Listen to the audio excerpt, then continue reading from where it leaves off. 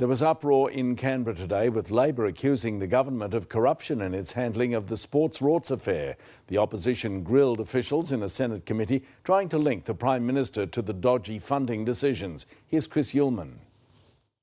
An immovable object You will criticise no matter what. meets an unstoppable force. Just because you say it doesn't make it true. The Senate's heavyweights went toe to toe over $100 million in sports grants that cost Bridget McKenzie her ministry. I put to you that Senator McKenzie backdated the brief. Well, I don't agree with that. I mean, Okay, there's um, absolutely no there's absolutely no evidence for you to make that outrageous uh, allegation. It got a little personal. And you go red. No, really? Yes. But the real target is Scott Morrison, whose office exchanged more than 100 emails with the sports minister's team. The prime minister could walk on water, and you'd say, "Why can't he swim?" He doesn't walk on water. In fact, he's been a very naughty boy. Oh, no, it is. 136 that proves- this emails. Just proves my point. Scott Morrison wasn't walking on water today, but it was on his mind.